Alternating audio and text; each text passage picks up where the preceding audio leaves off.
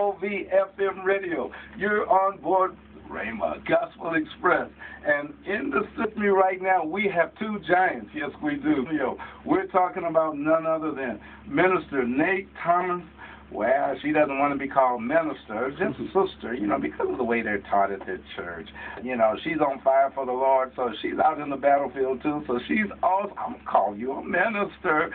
Uh, Pastor Michael Brown of True Vision Baptist Church. That's where they both of them are from. But they are on fire. I met them this past week, a week before last, at the Convalescent Center, and they were ministering the Word of God, did an awesome job.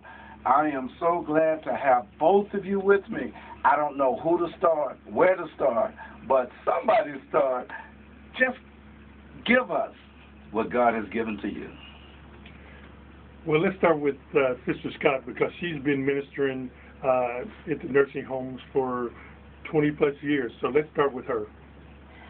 Good morning, listeners. Listeners, I am Sister Lucille Scott, Minister Lucille Scott. That sounds a little better. from uh, True Vision Baptist Church. Reverend Brown's my pastor, and I've been ministering for approximately 20 years. And praise God, I enjoy every minute of it because it brings joy to my heart, not only to me, but I am helping others to look into the sight of God and what He's doing for them.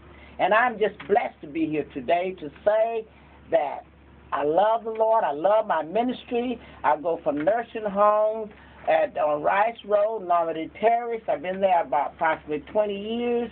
I also go into the homes. I also go into the hospitals.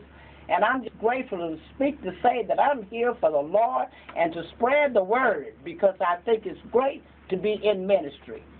You know, oftentimes, you know, in the life, and you look so good. Thank you. I mean, your hair I'm looks. blessed. Hey, man, I'm just, I'm blessed. checking out that hairdo. I mean, it looks good, you know, and you have such a pretty smile. But with all of that, it came through some trials and tribulations. Days haven't been good, No.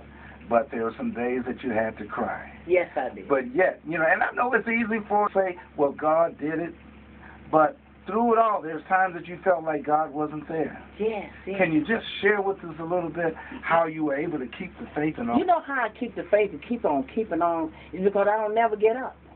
I may fall or trip, but I get up hmm because I know that God is behind me. So I look to the hill where my help come from. Yeah, yeah, yeah. Your help come from the Lord. Yes. And long as you have keep that faith, don't give up. hmm Because if you give up, then you turn over to Satan.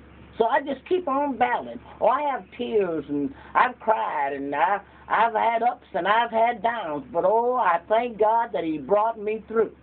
I learned to stand up. Even if I fall, I don't never think you're not going to fall because you are. But mother, I, let me let me ask you. Let me ask you. What about those days when folks said you wasn't gonna make it, or you, you know, you're not gonna mount up to be anything, or they didn't have any kind words to say? No, no, no. But you know what I would keep saying? Oh, Mhm. Lord, help me. I go to God. The first thought coming to my mind, I Oh, Lord, this sounds not gonna make it, but I know, Lord, it's not, nothing impossible for you. I know I'm gonna make it. And I made it.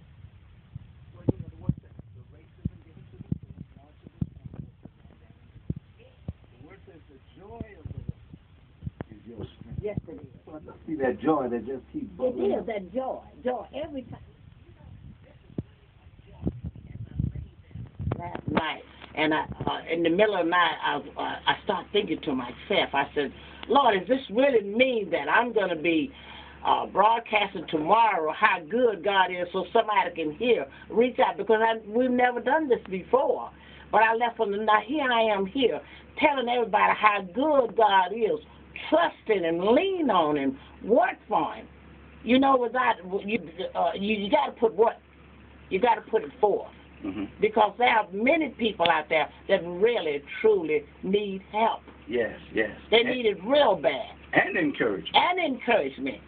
Uh, let me tell you a little story about a, little, a lady uh, one Christmas, uh, and she was there alone by herself, and she didn't have no family.